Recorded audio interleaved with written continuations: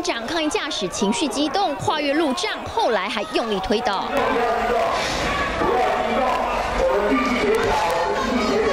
沿间封锁线快被冲破，交通部官员与警方两人用手撑住路障，但还是挡不住驾驶的怒气。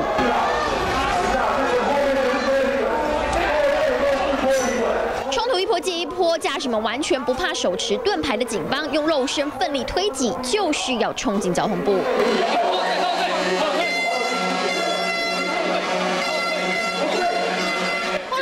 直接撑开铁门，十多人进入大厅，更有业者一度占领电梯，真的好火大。工会理事长怒呛警方。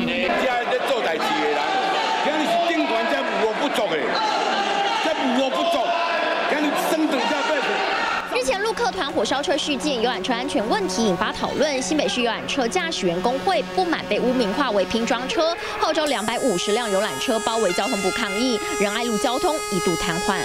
问我们到底安不安全？甚至于原本是要三台车、五台车的变一台车，是真的。我们现在的车况真的是很糟糕，没人敢搭。专做国内旅游的游览车生计也严重受影响。台南车队业者北上抗议，依然车队的业者更在过程中脚踝扭伤。你是扭到是不是？对啊。